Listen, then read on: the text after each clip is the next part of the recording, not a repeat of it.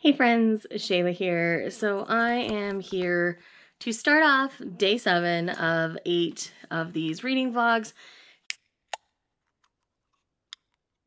Today I'm mostly going to be focusing on Vengeance Road and then after that we're going to dive into some manga. I think we're going to read all of Monkey High and then see what's going to happen from there. Because I've still got some kind of piecemealy almost kind of things. But yeah, um, I loved doing the reaction vlog for Strobe Edge in this series, so I think I might do the Monkey High one as well, because I will have tons of time tomorrow. So, today's focus is Vengeance Road. Um, I've got that live stream starting in about an hour and a half, so I'm just going to read until then, and then we'll re-adjourn because your battery's low, so we will chat soon. Hi friends, so it's like 3 o'clock in the afternoon now. The manga quarantine stream was a lot of fun. That will be linked down below in case you missed it so you can go back and watch it. We had a good conversation. It was a good time. And I'm like the first 45 pages into Vengeance Road. This one's definitely different than the others. Breezy and, um, let's see, it's Steele have a history where she was part of another motorcycle club and some things like that. And there's a child involved. Basically, Breezy was pregnant with Steele's child, but Steele had kind of exiled her anyway. And so she was raising her their child on her own for years and now her child has been kidnapped by her own father and the motorcycle club. And so now she's come to Steele for help. And so they're trying to figure out how to best help her and Zane, the little boy, and get everything back on track for her and Steele to be together because he never really wanted to not be with her. It's one of those things that just ended up happening. I haven't gotten all the details as to the why yet. I have ideas, but I haven't figured out why exactly yet. So, hello. Sorry for the lack of clips today. It's like seven o'clock in the evening now. I've read another 200 pages in Vengeance Road, and I have to say, I really like the direction of this one. Breezy was raised in another club that was really bad that motorcycle club had lots of drugs and they were part of a trafficking ring and stuff. And so Torpedo Ink. had infiltrated that club to shut it down and to kill the chapter leader who was in charge of the trafficking ring. So that's how um, Steele and Breezy initially met. But it got to a point where he felt like he had to protect her, so he pushed her away, said all sorts of awful things. And so she was raising her little boy on her own. Her little boy's been kidnapped, and so it's about them getting reacquainted because she came back to ask for help from him and about them going to get her son. And their dynamic is just different than the other two couples that I've read from in this series. And I really enjoy their dynamic. It feels much more high stakes and because of their history, they more easily, it made sense for them to easily fall back into the sexual side of their relationship. And they're both trying to protect each other in different ways. And I really just enjoy what Feehan's doing with this series a lot. And again, we have PTSD issues that Steele has and PTSD issues that Brie has from everything that she went through. And they both have different ways of coping with it. And it's going to be interesting to see because there's one point that they're really fighting each other on. And I know the result, like how that ends up, because I've read the book after this one. I accidentally read that one first, if you missed that in previous vlogs. But yes, I am really excited to figure out the rest of this journey. So I'm now 250 pages into this 400 ish page book. So I've got about another 150 pages. It's about 7 p.m. So I'm pretty sure I can get this done tonight. And then tomorrow will be all about the manga. All right, and I've officially finished Vengeance Road. There this book deals a lot more with the anxiety triggers for PTSD. There are multiple times where you see PTSD triggered so, obviously, a huge trigger warning for that. This series definitely trigger warnings for like sexual assault, sexual abuse, those things to children and PTSD, panic attacks. The list is extensive. When I write my Goodreads reviews, I promise to be extensive with my trigger warnings because there's a lot in the series. So this series isn't going to be for everybody because of that triggering type of content. But I really enjoy how this series is written. The way that Breezy and Steele communicate through the PTSD triggers and panic attacks really was well handled and well done, in my personal opinion. As a whole, I really enjoy what Feehan's doing with this series. Is these women come into their lives and they have to accept a lot because none of the Torpedo Ink. members were raised in a good environment, we'll say. And they end up all having different triggers and things that they deal with within the series. And so exploring that the way that she does in the series is beautiful. And like I say, because of those things and because I was basically almost triggered as um, Steele was having a particularly large panic attack towards the end of the novel. Um, I actually had to like put it down and do something else for a minute and then come back to it. But it was so well written. But it could definitely be triggering to people. So fair warning on the series for that. But again, I really like these Torpedo Ink guys. Book four is coming out in July. I haven't looked at whose book it is, but I love all the Torpedo Ink guys. So I don't care whose book it is. Like, I love them all for different reasons.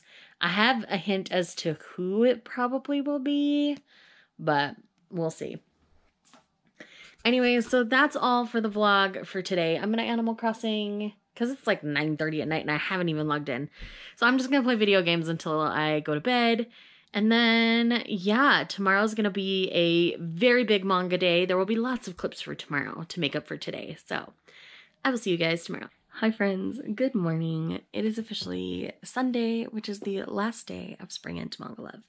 Readorama finished yesterday, and that's why we read the Torpedo Inks book yesterday. So today, we're going to read Monkey High, and then we'll see if we have time to squeeze in some other things. So let's jump into volume one. All right, so volume one of Monkey High complete. So we're dealing with the daughter of a fallen politician, like he was arrested. I'm guessing he was set up for something for, with the way everything sounds. So she felt exiled at her elitist school and transfers to a public school where she runs into this boy who reminds her of a baby monkey. And she feels like school feels like living on a monkey mountain and people are just vying for dominance and whatnot. Anyways, so School Hunk obviously is after the new pretty girl, but she doesn't think anything of him. But this cute little boy who looks like a monkey, uh, he's not a little boy, he's a teenager. They're like the same height, and he's just sweet and nice to her and throughout the course of the volume, they develop feelings for each other and become boyfriend and girlfriend. So this series is going to be exploring their relationship. And so far, it's pretty cute. She confronts her old boyfriend, says, I have a boyfriend now. That boyfriend doesn't believe it once he meets Masaru, but everybody calls him Machiru. And it's just cute so far. I think it's going to be fun. Like, I could understand why people don't like the main girl for sure, but she doesn't bother me overly much. So I'm excited to continue. I'm gonna take a little break. My friends want to meet up in Animal Crossing, so we're gonna do that for a little bit, and then it's back to Monkey High. Alrighty, I have now completed volume two of Monkey High. And again, I can see why people wouldn't necessarily like our main girl in this one.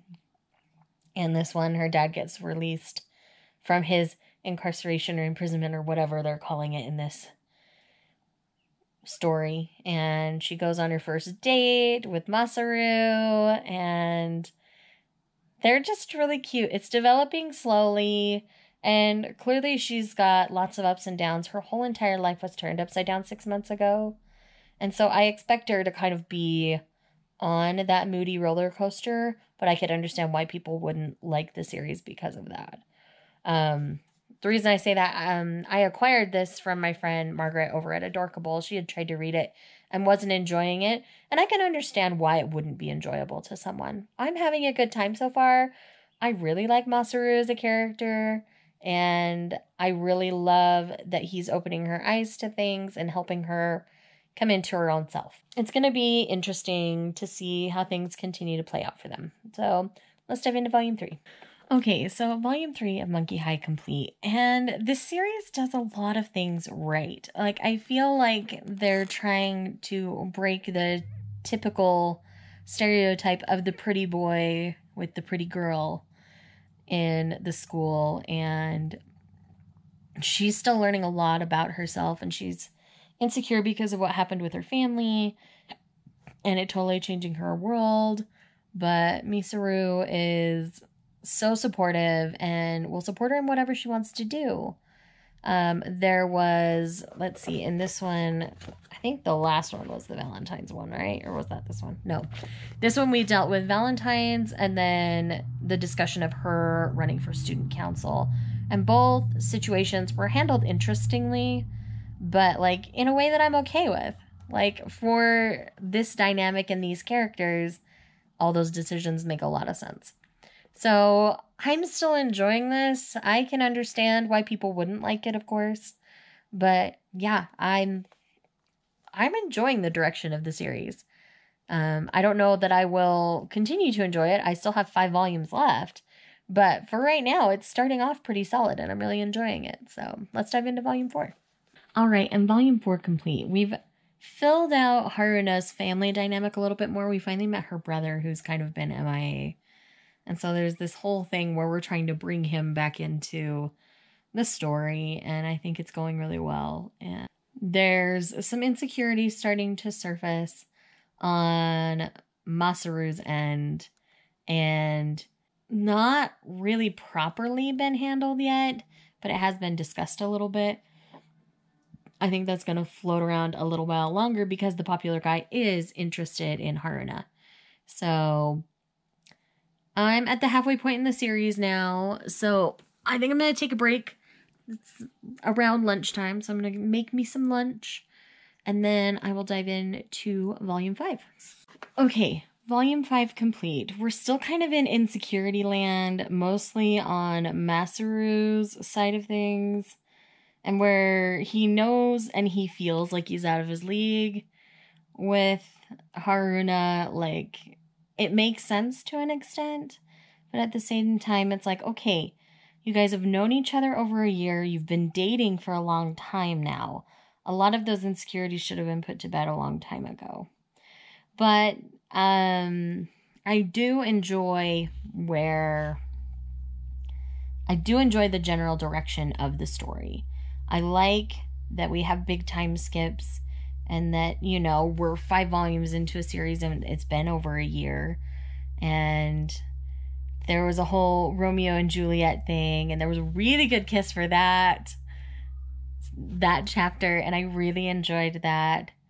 And the New Year's thing was a little awkward, but New Year's things tend to get awkward in shojo. I don't know why. But that's where more of the insecurity stuff kind of came up. And so, yeah, it's going to be interesting to see how volume six goes. Okay, so I'm only about halfway through volume six, but um, it was the like class trip one for whatever reason it was happening in the winter, but it really played out really nicely. That's one of the better like school trip conflicts that I've read in a shojo, and I really appreciated the direction that it went because um, Atsu, the popular guy, confesses to Haruna, and she just doesn't even register that that's what he's done because she loves Masaru so much. And it's really sweet. And so they had their various conflicts, but the way it was resolved was really sweet. And I just, I really like them as a couple. He brings out things in her that she's afraid of in herself. And I really like that dynamic a lot. He does a lot of good for her, she does a lot of good for him. She helps him grow up and mature and things. It's it's just so good, guys. It's just so good. I'm gonna get back to reading it. Okay, okay. Okay, and volume six officially complete. After this, we are getting to the point in the series where they are debating how to move their relationship forward physically because they both want to be physically and emotionally closer. So they're looking at the next step physically. They've just been kissing and hugging on occasion at this point. And there was an incident where he accidentally fell and his hand landed on her boob. And so he started to think about her differently in that way. And it took her a while to kind of catch up to him that way. And now they're debating how that next step is going to go. So I think the next two volumes are going to kind of be them figuring out that side of their relationship. So, all right, so volume seven complete. This was another very realistic volume where they both finally looked at their situations academically and realized they're most likely not going to be going to the same college because one, they don't have similar interests, and two, academically they are on different levels. Um, Haruna is much more studious than Masaru. And so we've got both of them trying hard in their own way. And naturally, that created some distance. They were talking on the phone more because they couldn't see each other as much. And again, it was just very realistic in how this played out. But we had a reunification, as you can say, at the end of this volume. So I'm really looking forward to the final volume to see how everything wraps up and plays out. Okay, so for all its good points, I can't say that I was the biggest fan of the ending. I mean, I expected a happy ending. Most shojo end happy. But this one, uh, it felt a little immature, I guess. And I just, mm, I don't know. I'm gonna have to think on it a little longer. But initially, with the decision made by the end, with the lack of time skip, I'll word it that way, um, made me a little disappointed. Um, I needed that time skip for it to feel a little more realistic. So, anyhow, that is the end of Monkey High. Like I say, it's a really solid series, but not my favorite ending. So, I think that's the easiest way to sum up my feelings. Um, it's a solid four till this last volume. I would give the last volume a three. There's a lot of good things that happened in this last volume, but the very end of it, like the final resolution, was not my favorite choice.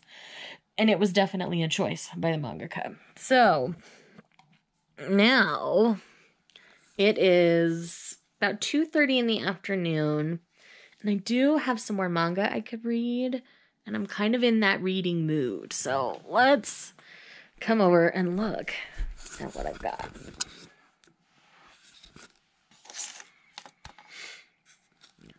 So, this is what I have left on my manga physical TBR in general. So, I actually think I want to tackle this second volume of Karneval. I don't want to wait too long before I keep going on this one. So, I think that is going to be my choice. I read the last omnibus, I believe, in the last Manga Love readathon. I was originally going to read both, but I opted to wait. So, let's go ahead and dive into this one.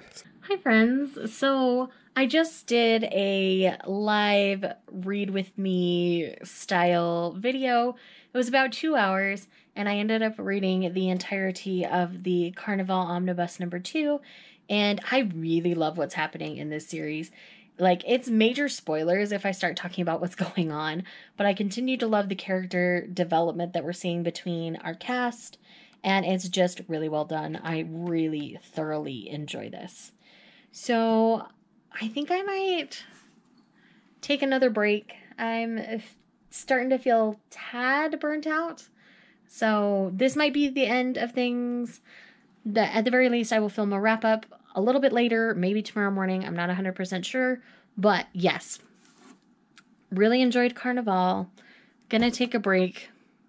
And I will either show up with another volume or with a full wrap up of everything that I've read over the last days. Hi friends, so this is the final wrap up for my Readorama slash, slash Spring into Manga Love reading vlog series. I hope you guys have enjoyed all four vlogs and that you find yourself in a happy place today. If you're in the US, happy Memorial Day. I need to close this window a little bit because I'm not wearing pants. All right, so I'm gonna briefly kind of rapid fire talk about everything that I've read in the last eight days and we'll move on from there. So first up, I'm gonna mention the only digital title, which was I'll Win You Over Senpai Volume 1. I ended up giving this four stars, solidly enjoyed it, plan on continuing on with the series, and I am genuinely excited for the direction of the series because I think it's gonna be a really fun time. Next, I read the entirety of Monkey High. Overall, I enjoyed this, but the final volume let me down a little bit, and so I was a little disappointed. I'm on the fence as to whether I'm going to keep this in my collection or not because of that ending, because I hate that all this good stuff leads up to a not so healthy ending, but I'm still debating because the rest of the series is a solid four, and then I just dropped this one down to a three because of the ending. So, anyways, I'm gonna think on this. But overall, I did honestly enjoy it. Next, I read the first three volumes, or the first omnibus, of Holic by Clamp. Absolutely adored this. Definitely planning on picking it more. I tried to pick up more in the Right Stuf Memorial Day sale, but they were all sold out of the ones that I need. So this is what I'm going to be on the hunt for for the next little while. I also read the second omnibus of Karneval, so this contains volumes 3 and 4, I believe, and I genuinely enjoyed this. This is an action slash suspense josei title. It's not overly graphic, but I, it's high stakes and high impact, and I really enjoyed it for that. So I'm definitely excited to continue on with the series. This was a series that had a long hiatus, but it's publishing again. So I'm really, really, really excited that I finally decided to dive in. And last in the manga space, I found a new favorite, and that is Strobe Edge. I read it in its entirety and had the best time. It was really fun. So far, it's my favorite Io Sakisaka. I think Aoharu Ride, though it is more popular because of the anime, I think is a little too overly dramatic for me, where this kind of scales that back a bit, and I really genuinely enjoyed this. So if I'm gonna recommend an Io Sakisaka title, right now it's gonna be this. Second would probably be Love Me, Love Me Not, and then Aoharu Ride, which is probably unpopular, but this series is so solid and I really loved the characters a lot. Quickly, I forgot to mention Let's Dance a Waltz volumes one through three. Really enjoyed them. We'll be talking about them more in my reread roundup coming up soon. Next, we have the books, and I read all three books in the Torpedo Ink series by Christine Feehan that are currently out. I gave them each four stars. These guys have problematic things that happen to them as children, and so the trigger warnings will be extensive look out for my Goodreads reviews to get the extensive list because believe me, I'm going to write them because I was almost triggered by book two. I actually had to put it down because I was starting to feel triggered. So I'm definitely going to be listing those in my review. So watch out for those if you are interested in the series and have any triggers because the series is really good, really sexy. It has kind of that kinky taboo side to it. And I really, really enjoyed that. Then we have The Blacksmith Queen by G.A. Aiken. And this was a solid four stars. I thought it was really fun. The language is a bit crass, lots of F words. So if you're sensitive to that, just be aware. But I ended up genuinely enjoying this. I thought it was a good time, and I'm definitely looking forward to the next in the series. With where this leaves off, it closes it enough, but I'm definitely looking forward to the next one, which I believe is slated for November at the moment. Then we have Shout by Laurie Halse Anderson. I'm not going to be giving this one a rating just because it's an autobiography but it's done in verse, all in free verse. It was really well done. I really enjoyed my experience with this book. So, being someone who was assaulted, um, I found a lot of solace in this, and watching her take over her life and her story was beautiful, and I highly recommend checking this out. And then, last but not least, I finally finished Heir of Novron by Michael J. Sullivan.